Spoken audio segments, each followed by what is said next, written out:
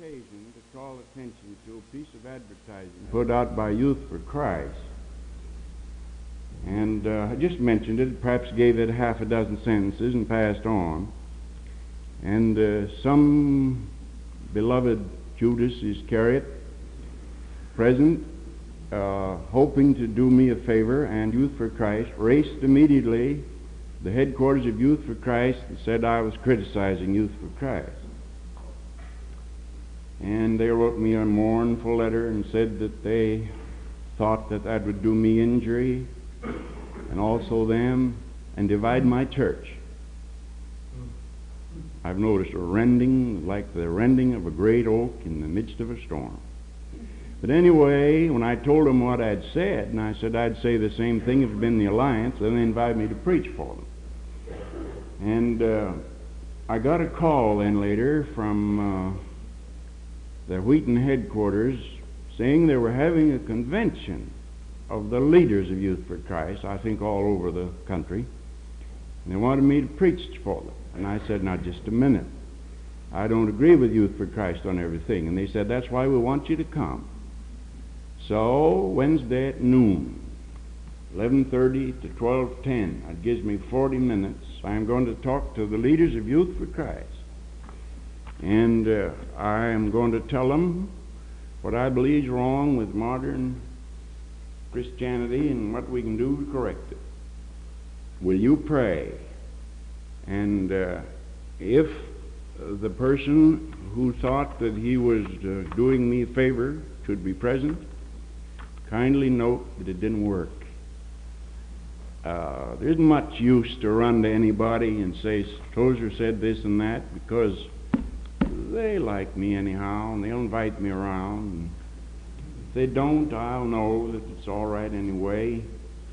Thought I'd just let you know and ask your prayer. I do want to be honest with these friends, tell them what I think, and uh, yet I, and uh, they're looking forward to my talk, and I am looking forward to it too. And I wish I knew what I was going to say. But now. The book of Titus. Let me read uh, about four stanzas. I say stanzas chiefly, I think, because some of these letters of Paul are divided up into verses, but they're singable. Uh, uh, Philippians and Titus are hymns almost, and so I'll read you the opening introduction here. Paul servant of God and an apostle of Jesus Christ, according to the faith of God's elect and the acknowledging of the truth which is after godliness, in a hope of eternal life which God that cannot lie promised before the world began, but hath in due times manifested his word through preaching, which is committed unto me according to the commandment of God our Savior, to Titus, mine own son after the common faith. Grace, mercy, and peace from God the Father and the Lord Jesus Christ our Savior. Now that's as far as I'll go. Paul, a servant of God, to Titus, mine own son after the common faith. Grace, mercy, and peace be to you. Now I announced that I be preaching on the book of Titus over the next few Sunday mornings, that is, sermons from the book of Titus. And this I hope by the grace of God to do. But in studying the New Testament about this man Titus, I was so impressed with the man himself that I felt I must present a short portrait of the man before going into the letter which Paul wrote to the man, and which is a part of the New Testament inspired canon. There's a great need always for examples, and uh, the oft quoted passage from Pope, the proper study of mankind is man, uh, is true because you'll find people will take more interest in people than they do in ideas. very hard to get people interested in abstract ideas, but it's not hard to get them interested in people. And where you find a man who is the incarnation of a great idea, then you've got a jewel, a gem, indeed a treasure. And in both Paul and Titus, you have this. You have in the man Paul uh, a, an incarnation of the doctrine he preached, and in Titus his son in a lesser degree. You have also an incarnation of the great doctrines of the New Testament. So I want to be as brief as I can, but I thought that as a sort of introduction to the to the man Titus, to this to this the lessons in Titus, that I'd talk about the man Titus, divide it up like this: Titus the man, and Titus the Christian, and Titus the assistant apostle, and Titus the missionary, and Titus the doer of good, and Titus the organizer, and Titus the optimist. There are seven point sermon for you, and seven chapters in a book on Titus if you wanted to write it up. But here was a man, Titus. Now he wasn't a Jew; he was a Greek, and uh, he had a Roman name, Titus. Later on, or about that time, a little later, I think, perhaps. Titus, the emperor, Roman emperor Titus, took over and uh, the, the man's name was Roman, though he himself was a Greek.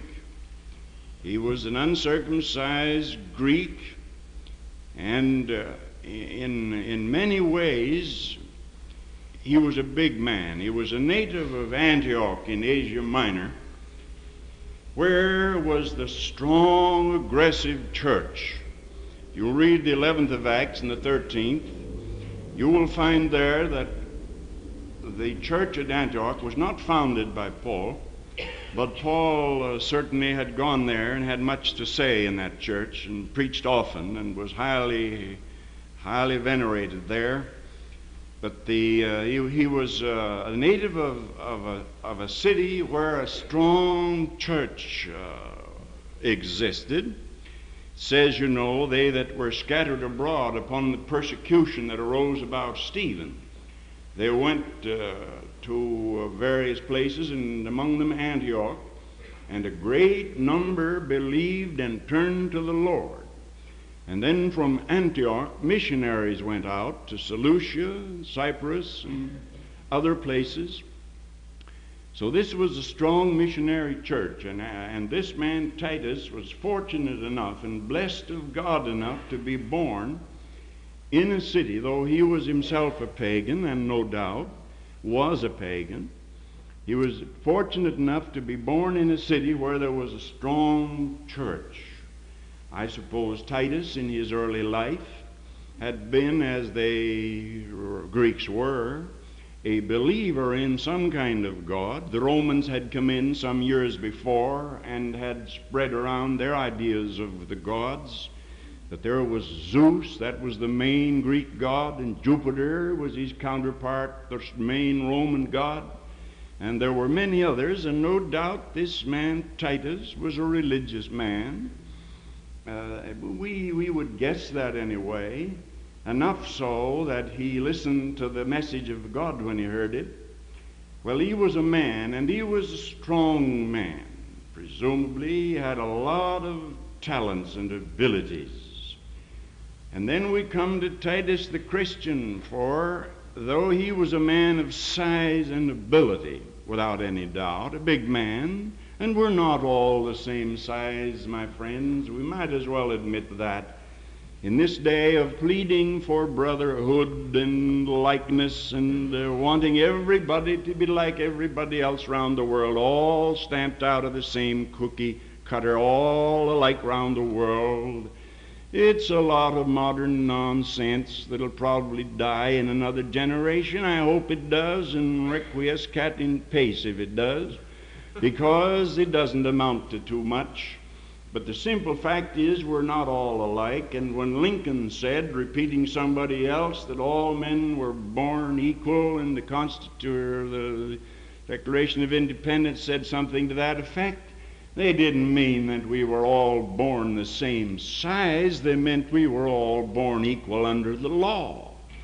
And I believe in equality under the law.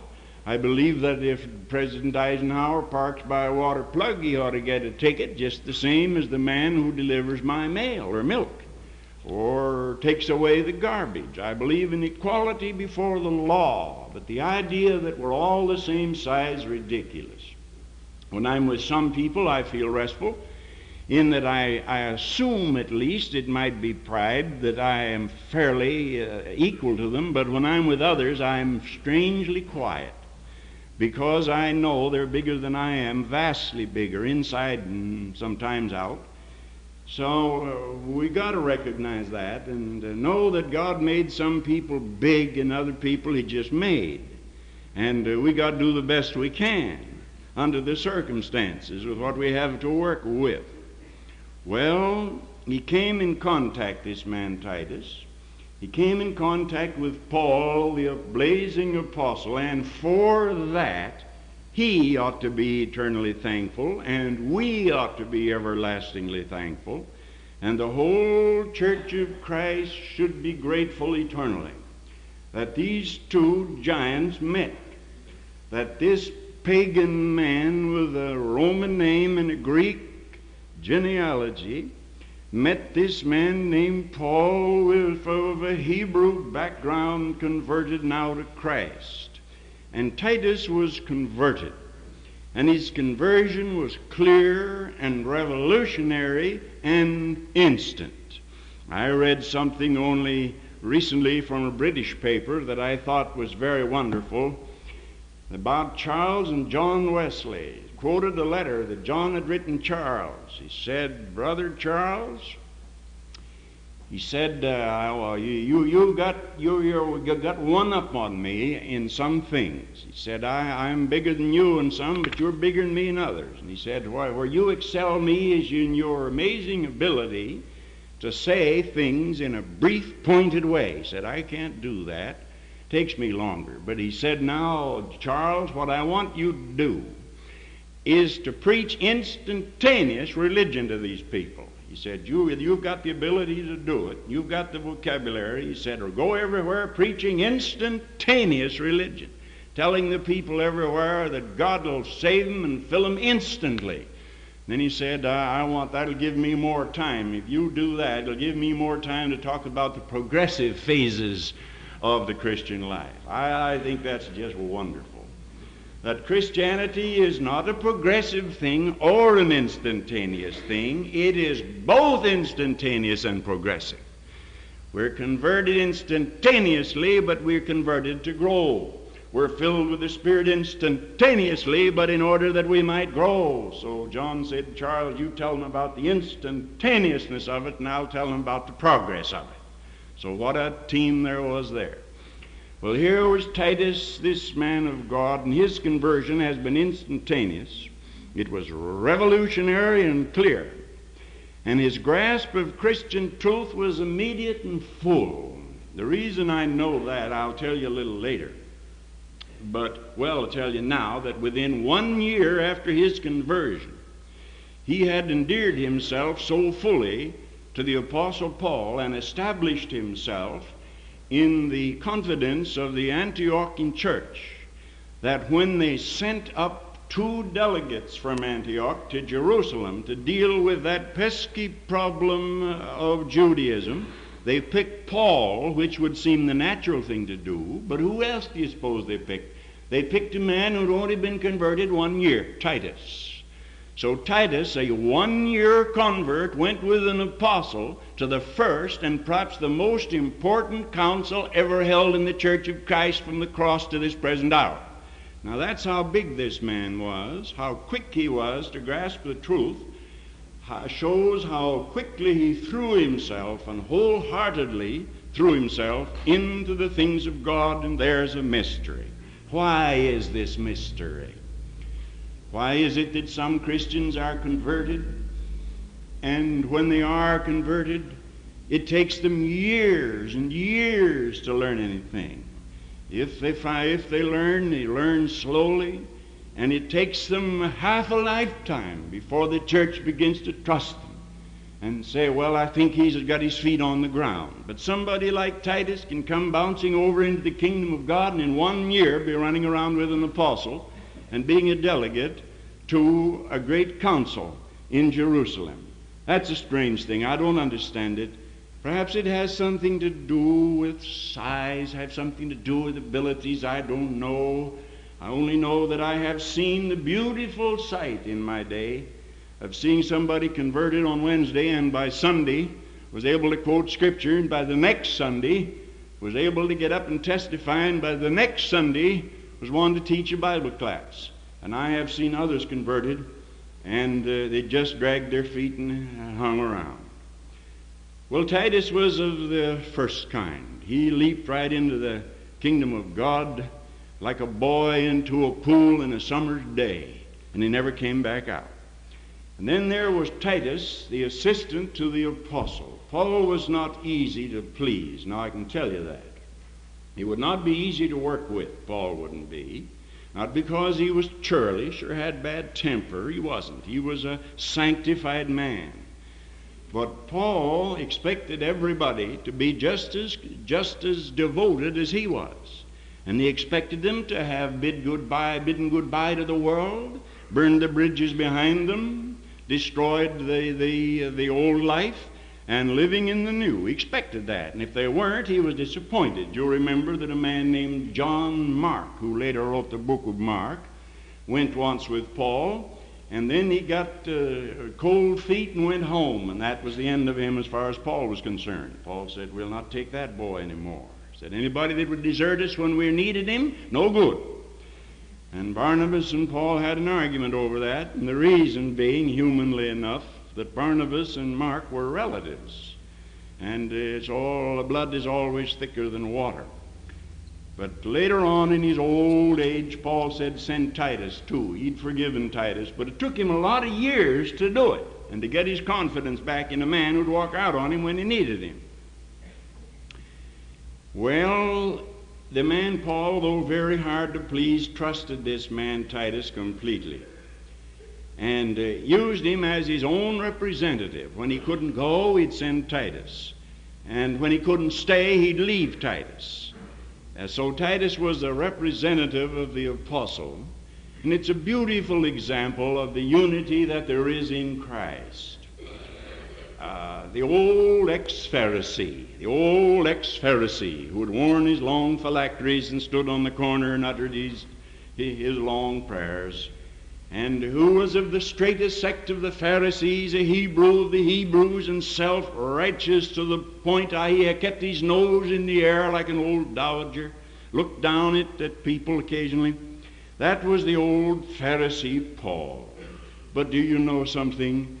God met Paul on Damascus Road, changed him completely, transformed him, filled him with the Holy Ghost, gave him back his eyesight, and made him fall in love with the young Gentile. Why, the Pharisee Paul wouldn't have shaken hands with that Gentile heathen before his conversion, and now he calls him my son and gives him his heavy responsibilities and loves him and treats him as a brother or a son. Now that's what the grace of God will do for people. And then there was Titus the missionary. Can only point out that Titus went to Macedonia and he went to Corinth and he went to Crete and he traveled with Paul. And do you know that missionary work wasn't as difficult then as it is now? And I'll tell you why. Then the Greek language was the universal language, and everybody almost spoke Greek. Everybody to whom Paul went spoke Greek. Uh, perhaps I should modify that and put a slight question mark after it, but for the most part, everybody spoke Greek. And uh, they could uh, therefore preach in one language. But nowadays, we, there are so many languages and sub-languages and what we call principal dialect. Someday I'm going to study that up and see what Brother Sneed means when he called, talks about principal dialects. But anyway, they have so many of them now that you've got to, to spend years learning their languages. Then they traveled around preaching in Greek and almost everybody understood them. So it was easy for them to go as missionaries as far as the language was concerned.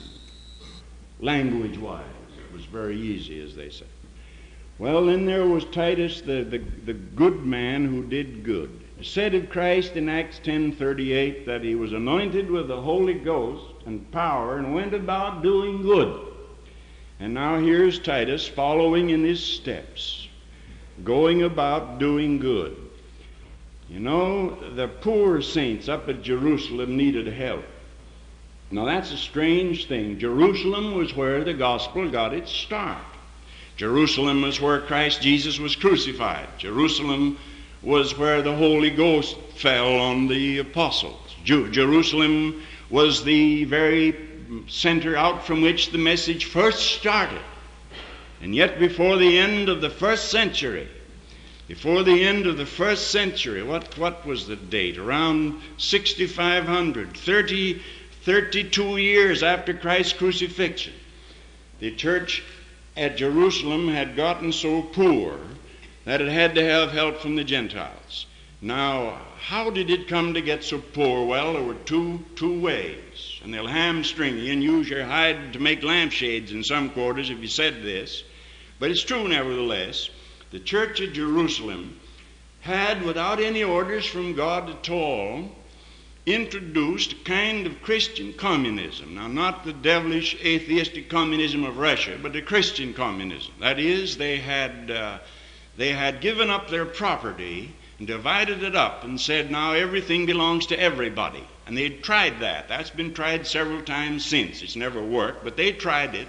The result was they had no property.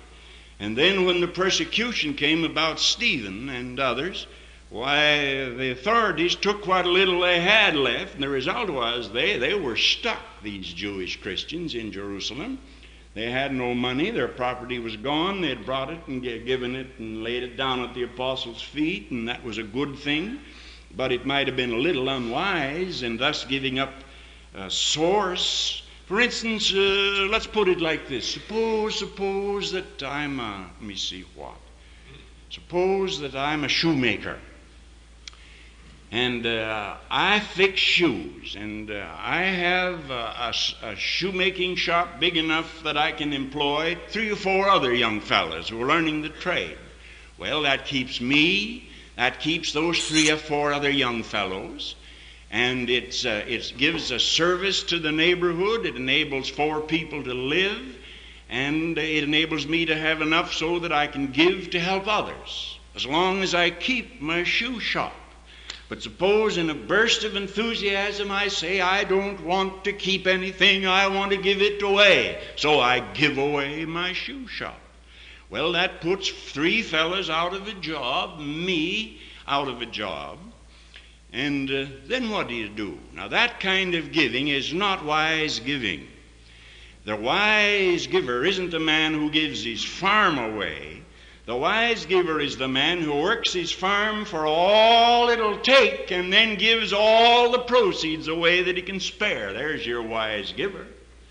The businessman who gives his business to the mission station, he's not a wise giver. But a man who runs his business for all the traffic will bear and then gives his profits to the mission, he's a wise man because he's doing it in a proper way. Well, the church of Jerusalem, I think, made the mistake. It, they were never told to do it, they just thought it up themselves. So they actually sold their property and sold their business and gave it to the apostles, and pretty soon it was all spent, and nobody had anything. And then add to that, I say, the persecution, and the result was that uh, something had to be done for Jerusalem. And now here was Paul, and of course, Paul loved Jerusalem and loved the Jewish saints in Jerusalem. And he got uh, interested right away in taking an offering. And where do you suppose this Jew went to take that offering? He went among Gentile Christians. And uh, he said, Now, uh, inasmuch as we, we desire, moreover, brethren, we do wit you, we want you to know about the grace of God bestowed on the churches of Macedonia.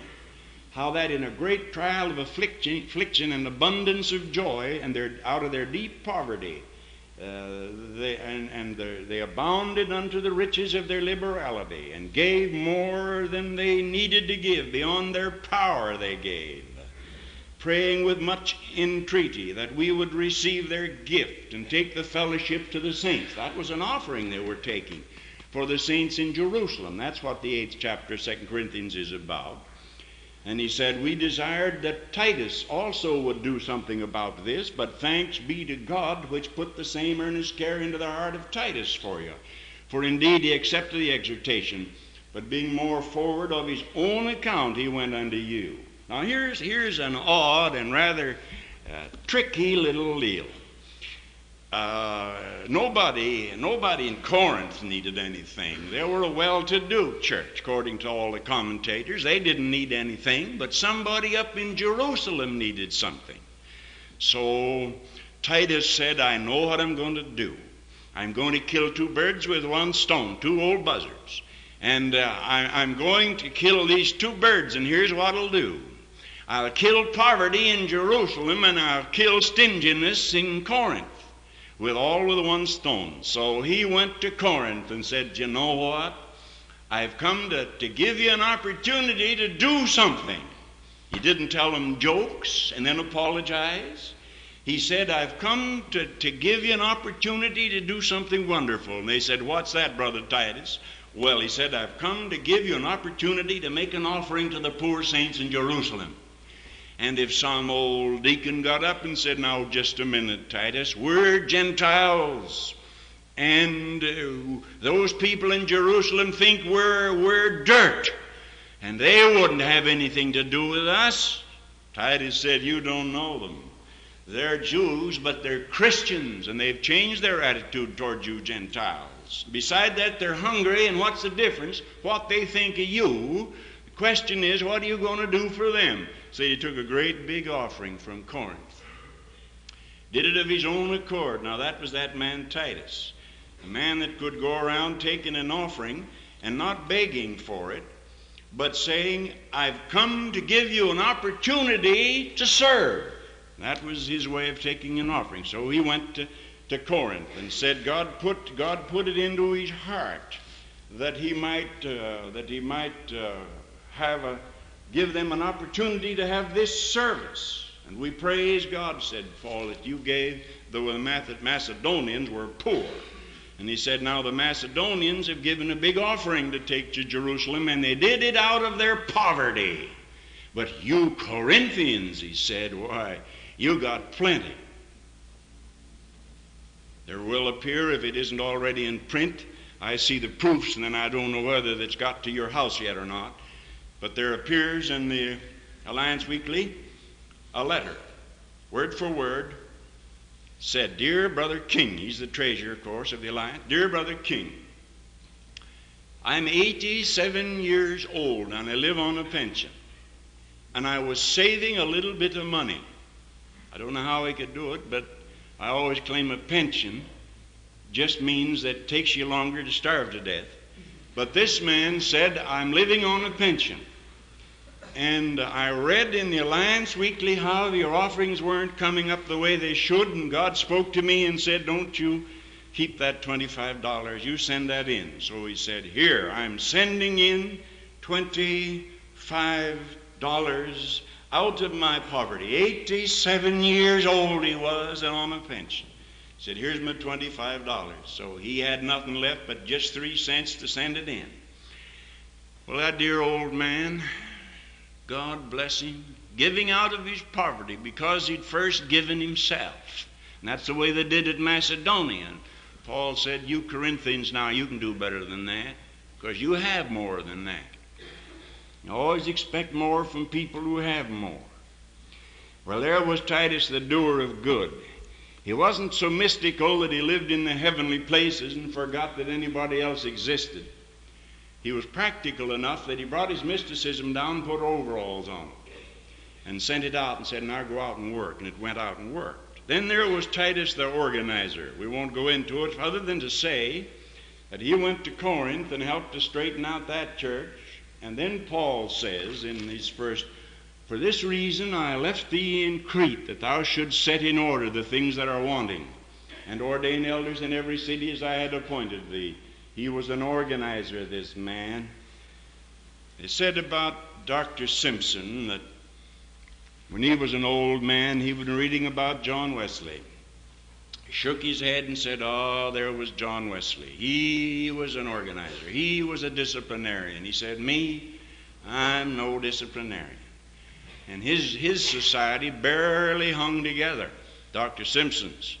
You would give him a $20 bill for missions, which was equivalent to $80 in those days, and he'd put it down in his great big old baggy pants pocket and forget it for days and even weeks. Finally find it, and then let me see now where that goes to China.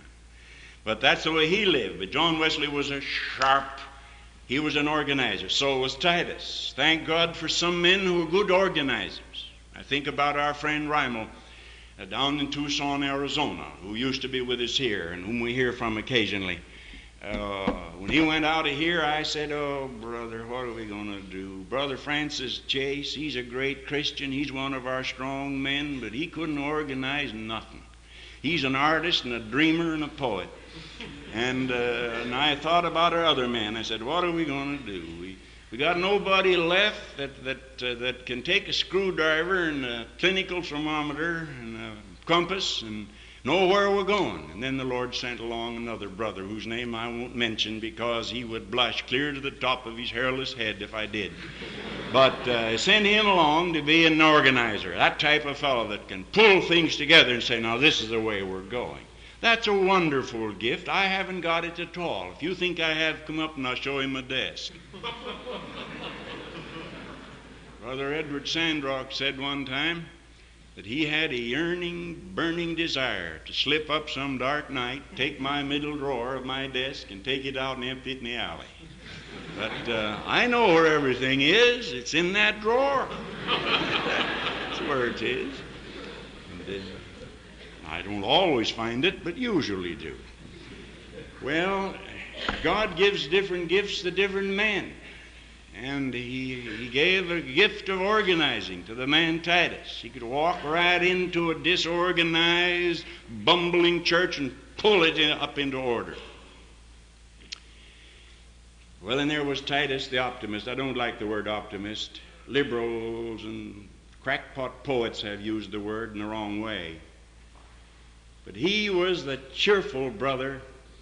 Paul said about him when he came to a certain place, where was it? He said, I had no rest in my spirit because I found not my brother Titus. He was a human being, this fellow, human being, but I had no rest in my spirit because I found not my brother Titus. He says, God that comforts those who are cast down comforted me by the coming of Titus. With exceeding more joy that I had because of the joy of Titus when he came. Now, I'm telling you, there is a gift in itself. For though Paul was an apostle and was probably one of the half dozen great brains of all time, and certainly the greatest theologian the church ever produced, though he had all those gifts, yet he was subject to fits of despondency, and he needed somebody to come along and say, Paul, God's still on the throne. And Paul would smile and say, Excuse me, for a moment I'd forgotten it. He said, I went looking for Titus and I didn't find any rest in my spirit because I found not my brother Titus. Imagine that old Pharisee needing the consolation and good cheerful talk of a Gentile by the name of Titus, years younger. That, that's a gift in itself, my dear friends, to be able to console the apostle Dear brother R.S. Roseberry, who was chairman of our French West Africa field for so long, said this. Said, Brother Tozer, uh, when I go, he said, I know my ministry. He said, My ministry is to go and preach the discouraged missionaries. He didn't, he didn't contact the natives and preach to them, the missionaries did that. He went around preaching to the missionaries. And he said, I go and I find missionaries who've been out there so long, they're tired, they're exhausted, they're sick, they, have had people have backslidden and some of their converts have failed them and they're, they're despondent. And he said, I go in and preach to them about Jesus Christ. He said, I don't talk about missions, I talk about Jesus Christ. And he said, I bring my missionaries up and give them hope. That's a great gift. Great gift. Wonderful to be able to listen to a teacher or a preacher who, when he's finished, even if you don't agree with everything he said, you go out saying, Well, things aren't so bad. God's on the throne and Jesus Christ still lives, and I believe there's hope for us. Well, Titus had that. And uh, Dr. Spence, who was Dean of Gloucester, said this about him. I copied this little quotation. I thought that you'd like it. He said this He said, In Titus was found a remarkable union of enthusiasm, integrity, and discretion. Aren't those three beautiful words? Enthusiasm, integrity, and discretion. First, there's enthusiasm. I like enthusiasm. In Wesley's day, that meant fanaticism, and Wesley preached against it. But now it just means uh, zealousness and, uh, uh and, and the urgency, what we call enthusiasm. Most Christians drag their feet. Half of the work of the preacher is to get the people to lift their feet. When I was a boy, young fellow, maybe 14, I used to help my father saw logs. That is, we'd saw a tree down. Back and forth, then would fall, we'd saw it into lengths. Pull the crosscut saw. I'd pull one way and he'd pull the other way. Pull one way and he'd pull the other way. And uh, my father was very much like his son. And uh, he turned to me one day and he said, Son, if you must ride that saw, please pick up your feet. He said, Don't drag your feet. And I remember that down the years. He, if I was going to take a ride while he pulled and pushed, please don't drag my feet. Well, a great many Christians in the work of the Lord, they're just you just have to drag them, push them or pull them. But not Titus. Titus was enthusiastic. He, he, he came out of there enthusiastic, out of the prayer room, enthusiastic. Then he had integrity. That is, he was a sound man. And you know how why we know he was a man of integrity? Because when Paul wanted to appoint somebody to carry that uh, offering, and amounted to a lot of money, to Jerusalem, you know who he appointed? Titus and one other fellow. Said, I know Titus. He can be treasurer and he won't even have to audit his books. Said, I know him. So we sent Titus, and Titus went back the Gentile and carried to Jerusalem the gifts from the Macedonian and Corinthian and other churches. So there was enthusiasm linked with integrity. And then along with that was discretion. Some of the Lord's dear people are good, honest people, but they're not discreet. They say and do the wildest things, but not Titus. Paul trusted him because he had discretion, integrity linked with his enthusiasm. Dear God, give us this kind of spirituality that we can be indeed Christians of the first water, that we can pour ourselves out as Titus did. God will honor us by using us or working through us. He'll give us a missionary mind and teach us as well that giving of our goods to feed a man that's hungry is as truly the work of God as giving to missions or to a church. And uh, that He can give us a little gift or send somebody that has it of organization and keep us optimistic and enthusiastic so we don't add an ounce of gloom to anybody's heart at any time. Well, that's Titus. That's the kind of man Paul wrote his lovely little letter to. The Holy Ghost embodied it in the New Testament canon, and for a few Sunday mornings I'm going to be preaching from that book.